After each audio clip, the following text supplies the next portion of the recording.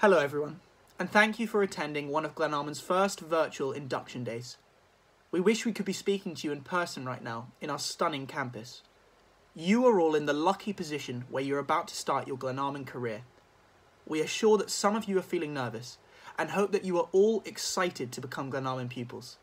Today, Susie and I would like to give you what we think are key tips to making the most out of your time at Coll.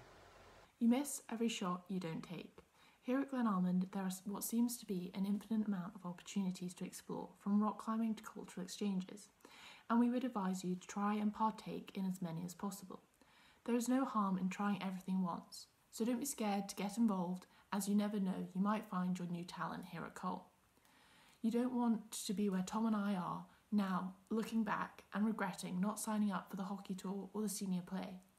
Tom and I can confidently say we made the most of our time here. I was fortunate enough to travel to Australia as part of my exchange, an unforgettable opportunity that Coll gave me. And Tom took part in the un- annual 100 mile walk, which raised nearly £3,000 for MND Scotland.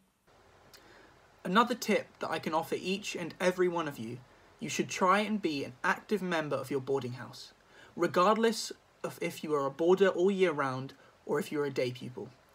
At Glenalmond, the idea of a house being a home couldn't be more true. Each house has its own individual style and has its own family within. From house singing competitions to inter-house sporting events, try and be as active as possible, as each event is fueled by house participation. Some of our fondest memories at Glenalmond are when we were competing for our house dressed head to toe in house colours. As we have mentioned, each house is like a family, and I would advise you to try to get to know everyone in your own Glenalmond family, as they will all be with you for many years to come. Our final tip would be work hard and the rewards will follow. Glenalmond is first and foremost a place of learning. Therefore, it is key to push yourself in the classroom. Handing in homework on time, asking questions, and engaging in the lesson are simple things that can be done to maximise your academic learning. However, pushing yourself does not always relate to the classroom. Working hard on sports pitches or in play practice always leads to success.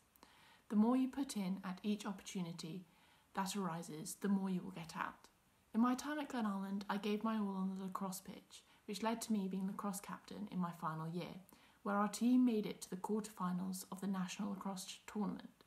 The effort I put in in my first years at Coll paid off in my final years. Finally, we want to wish you good luck. You're about to start some of the best years of your life. Susie and I have had five brilliant years at Glenalmond, and now it is your time to create your own story. We are super jealous that you get to have another five years here, and hope you make the most of it. Thank you.